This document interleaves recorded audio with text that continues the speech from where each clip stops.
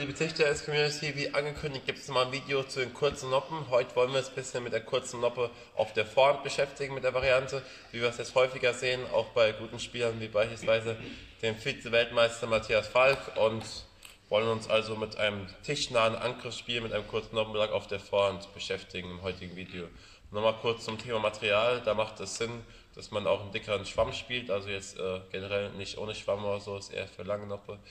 Wenn du jetzt einen kurzen Noppenbelag zum Angreifen haben möchtest, einen dickeren Schwamm haben, um das Ganze tischnah zu machen und auch einen schnellen Belag zu spielen, der gar nicht so doll sich von einem normalen Belag unterscheidet, also der Unterschied zwischen einem langen Noppenbelag und diesem kurzen Noppenbelag äh, ist größer als zwischen dem kurzen Noppenbelag und einem normalen Belag sozusagen. Für das Video haben wir heute nochmal die Laura mit dabei, die nämlich genau das spielt. Laura, zwölf Jahre alt und greift mit der auf ihrer vorne an. Und äh, da zeigen wir einfach mal heute ein paar Bälle und zeigen ein paar Varianten, wie man damit spielen kann.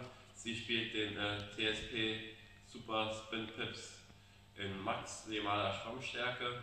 Super Spin Pips Red, genau. Okay, auf geht's.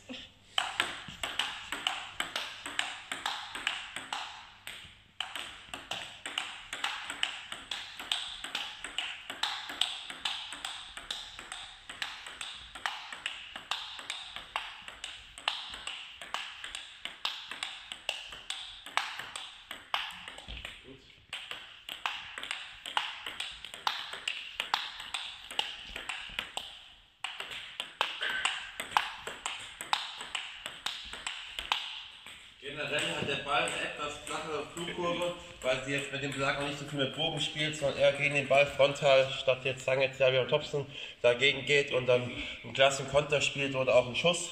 Das war im Konter. Jetzt zeigen wir mal drei Bälle. Äh, nämlich den ersten Ball spielt die Laura wie eben, den zweiten ein bisschen schneller und den dritten mal 100% richtig schnell, ja, richtig einen Schuss dann spielt. Ja, sehr gut, jetzt.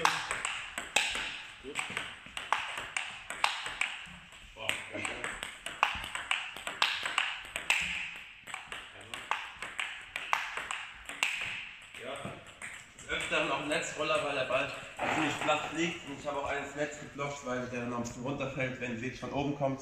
Wie bei Rückhand auch, wenn man jetzt von oben ein bisschen nach runter geht, hat die kurze Noppe vielleicht auch ein bisschen Störeffekt, wobei das äh, ziemlich gering ist bei dieser Noppe. Und darum äh, soll er gehen, dass sie jetzt schnell durch den Ball durchgeht und für Spieler, die eine gute Beschleunigung haben und vielleicht äh, gern Kontern schießen, eine gute Option, denke ich. Und genau, Natürlich kann man damit aber auch schupfen und eröffnen, das wollen wir jetzt auch nochmal zeigen. Und zwar steht kurz einen Aufschlag, ja, Schupf, Schupf zu öffnen, so. Ja.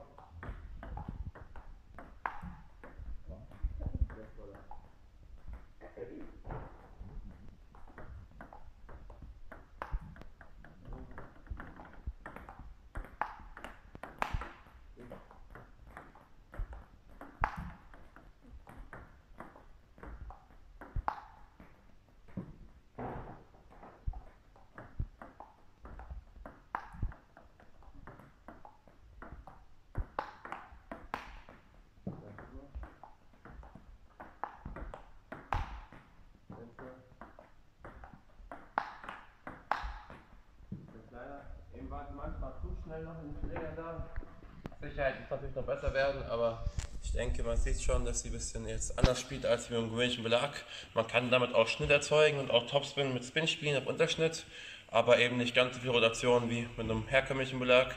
Aber dafür ist man auch nicht so doll auf die Rotation anfällig und kann eben auch ein bisschen höhere Bälle oder Bälle mit weniger Schnitt auch frontal einfacher schießen. Das können wir auch gerade mal zeigen. Ich spiele ein paar bisschen hohe Schupfbälle, wo du jetzt mal nicht probierst zu ziehen. Ersten Ball dann gleich den ersten schießt.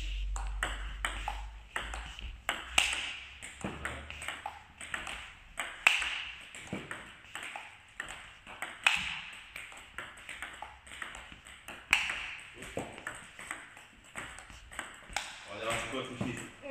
Ja. Aber was da jetzt ganz wichtig ist, um so einen Ball schießen zu können, der ein bisschen Unterschnitt hat, ist, dass man ein gutes Timing hat, also den Ball möglichst probiert am höchsten Punkt zu treffen. Wenn man ihn ein bisschen zu spät trifft oder auch zu früh, dann ist das Ganze sehr unsicher und nicht so einfach machbar. Und man muss natürlich schnell da sein, ja, schnelle Bewegung zum Ball, sonst funktioniert es nicht. Ihr kennt bestimmt so ein paar Spieler, die auch auf Unterschnitt schießen, gibt es eine Menge. Und die spielen dann meistens ziemlich feste, weil es sonst eben nicht so funktioniert. Und mit einer kurzen Noppe ist es noch ein bisschen einfacher als wie mit einem normalen Schläger. Was man auch machen kann, nämlich mit dem Holz zu spielen, mal mit dem Holz durch den Ball durchzugehen und zu schießen, also ohne Belag drauf, auch eine ganz gute Übung, da ist der Effekt noch doller als bei kurzen Noppe, ist schwerer zu schießen, aber da muss man, wenn man den treffen möchte, wirklich den Ball genau am höchsten Punkt erwischen. Und äh, genau, kurze Noppe denke ich für einen Plastikball schon eher von Vorteil als von Nachteil, weil das Spiel ja ein bisschen schneller wird, ein bisschen athletischer, also generell wird es immer Athlet, werden die Spieler athletischer und das Spiel wird jetzt nicht unbedingt schneller, aber ein bisschen weniger Schnitt im Ball, wollte ich sagen. Und äh, genau, da kann man dieses tischnahe Spiel mehr gegen den Ball gehen ganz gut machen, denke ich auch, wie man es schon äh, bei guten Spielern mittlerweile sieht in der Welt. Es gibt schon viele gute Nachwuchsspieler mit einer kurzen Noppe oder auch wie bei den Herren, der Matthias Falk, von dem ich euch auch nochmal ein paar Videos in der Beschreibung verlinke. Und genau, dann cool, dass du dabei warst, Laura. Wir werden vielleicht auch nochmal zu allen diesen Themen ein äh, gebündeltes äh, Video machen zum Thema kurzen Noppe. Wir hatten jetzt ja schon Rückhand kurzen Noppe, wir hatten schon allgemein kurzen Noppe. Heute soll es nochmal speziell um die Vorhand gehen. Und dann bedanken wir uns fürs Zuschauen, freuen uns, wenn ihr auch beim nächsten Mal einschaltet und bis dahin, ciao.